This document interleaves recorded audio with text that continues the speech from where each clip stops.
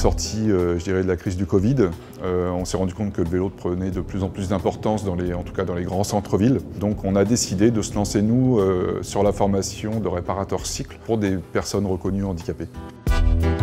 En fait, l'idée, hein, c'est qu'on intègre des gens, personnes reconnues handicapées, on les forme, on les accompagne, on les positionne dans un atelier de réparation et à l'issue, ils ont bénéficié d'une formation, d'une expérience professionnelle, d'un accompagnement. Donc on leur donne toutes les cartes afin de se réinsérer au mieux dans le monde professionnel. Ça fait débuter euh, au Tébas hein ah Oui, oui, buter de vitesse, je les ai faites. C'est-à-dire qu'au départ, on a affaire à des gens qui sont un petit peu écorchés, qui ont un parcours euh, rempli d'embûches. Et l'idée, en fait, c'est d'une part les remettre en confiance, donc de créer des circonstances de travail euh, agréables, d'avoir un lien assez privilégié avec eux.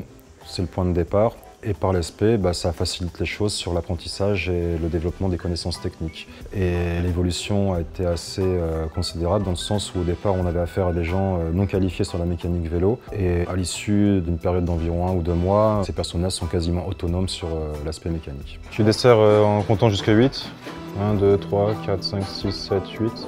Ça m'a permis de connaître beaucoup de choses dans la mécanique et j'apprends au fur et à mesure, euh, presque tous les jours. Euh, c'est un métier que j'aime beaucoup. Étant plutôt individuel, j'ai beaucoup plus de mal à m'intégrer euh, au sein d'une équipe.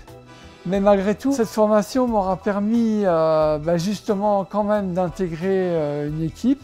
À la fin de la formation, euh, je souhaiterais pouvoir travailler en entreprise à l'extérieur. Nous avons réparé euh, l'ensemble des vélos qui sont mis à disposition des euh, centres aérés de la mairie de Paris. Derrière, on ambitionne aussi de pouvoir réparer des vélos d'entreprise. Et ensuite, on commence à intégrer des réseaux de recyclerie, à la fois pour récupérer des vélos et les réparer, ce qui nous servira de matière pour la formation. Et ensuite, il faut aussi qu'on intègre des réseaux pour revendre ces vélos des prix assez bas. L'aide de la Fondation de France a été primordiale dans le projet. C'est eux qui ont financé la première session de formation, le matériel, les gens. Sans cette première session de formation, nous n'aurions pas pu euh, nous déclarer en tant que réparateurs de vélos.